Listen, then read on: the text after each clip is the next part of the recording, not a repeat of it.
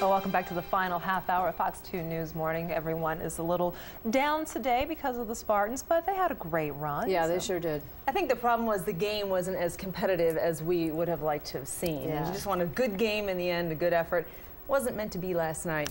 That's why you have the ladies here this morning, by Yeah. the way. Alan Lee Right. and Ben Bailey Oh, yeah. They're are uh, recovering after the late night of basketball, and we are fighting over the heaters. Yeah, I know.